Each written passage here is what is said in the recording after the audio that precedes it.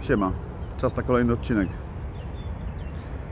Pomyślałem sobie, że opiszę ostatnią sytuację, żeby pokazać Wam y, o co mi tak naprawdę chodzi w, tym, w tych filmach i w tym wszystkim.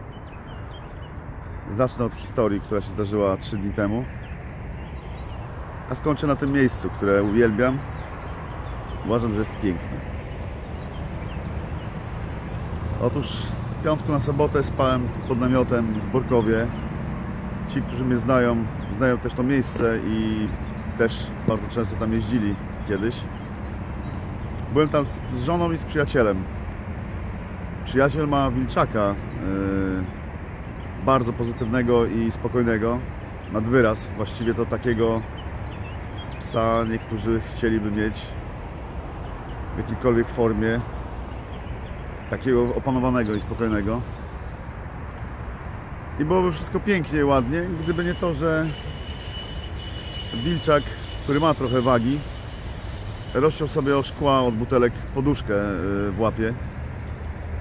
No i niestety bardzo sobie ją rozciął. Prawie na pół. Jaki to ma związek z tym miejscem i z moim psem, który jest uwięziony teraz na smyczy? Już Wam mówię. To jest proste. Debile rzucają butelki. To, że przychodzą, wypiją sobie browara, spoko luzik. Ja też tak robiłem. Tylko, że zostawiałem te butelki w różnych miejscach.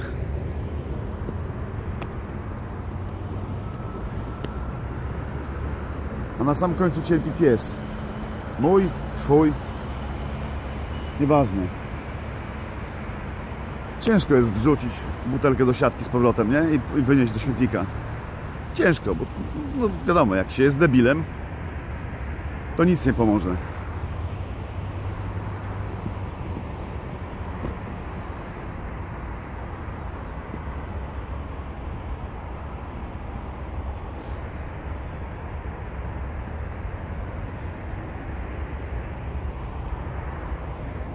Teraz wiecie dlaczego nie spuściłem psa.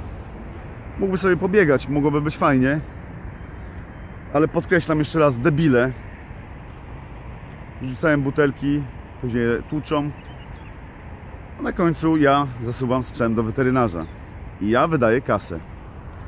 A naj, naj, najciekawsze jest to, jak, e, jak taki debil wyjdzie ze swoim psem. Jest strasznie zły na cały świat, że to jego pies skaleczył sobie łapę i on teraz musi przez to tracić czas. Jego bezcenny czas. Wow. Powiem Wam, że tutaj po przyjeździe yy, było to w niedzielę późną albo w poniedziałek. Yy, chyba w poniedziałek, tak, był, był to poniedziałek koło południa. Byłem tutaj sam. Z nadzieją, że kogoś spotkam. I faktycznie spotkałem. Nie pozdrawiam debili, którzy tutaj siedzieli. Były to dwie kobiety i jeden e, gość ubrani wyjątkowo fajnie. Sądziłem, że tutaj robią ten bajzel e, raczej ludzie mniej inteligentni, może jakieś żule, którzy nie mają e, gdzie się podziać. Jakież było moje zdziwienie. Po prostu trójeczka na kocyku, usiadłem sobie obok i widziałem po prostu jak koleś zgniótł puszkę i ją wyrzucił w tamto miejsce.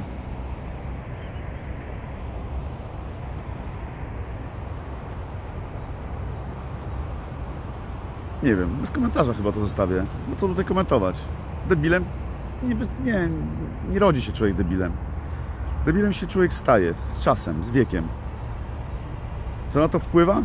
Środowisko, otoczenie, szkoła, do której chodzimy, rodzice, którzy nie wyprowadzają dzieci jak należy w miejsca takie jak to. My się później dziwimy, dlaczego tak jest. Ja się nie dziwię. Chcę to po prostu zmienić. Proste, nie? Sprzątałem to wiele, wiele razy, to miejsce. Ale teraz to już mi się nie chce. Może ktoś mi pomoże. Jeszcze jedna kwestia. Od jakiegoś czasu nie piję w ogóle alkoholu. Okazjonalnie zdarzy mi się jakiś tam browar strzelić, ale nie piję, nie robię tego codziennie. Nie wiem, czy kasztelan nawet jest piwem z wyższej półki. Żywiec też nie wiem, czy jest droższy, czy nie. Nie ma to znaczenia. Ważny jest tylko ten fakt, że byłem przekonany, że tutaj przychodzą żule, a okazuje się, że w poniedziałek widziałem tutaj całkiem normalnych ludzi. Teoretycznie wyglądających normalnie, ale normalni nie byli. Zdecydowanie. Na kocyku, później zostawić siatę, reklamówkę, która się rozkłada, wy sami wiecie ile. Ja nie mogę psa spuścić, bo nie stać mi już na to, żeby płacić za ludzką głupotę. Sami sobie odpowiedzcie na pytanie, jakie sobie zadacie, co z tym fantem zrobić. Cóż ja mogę więcej. Pozdrawiam. Niech miłość będzie z Wami.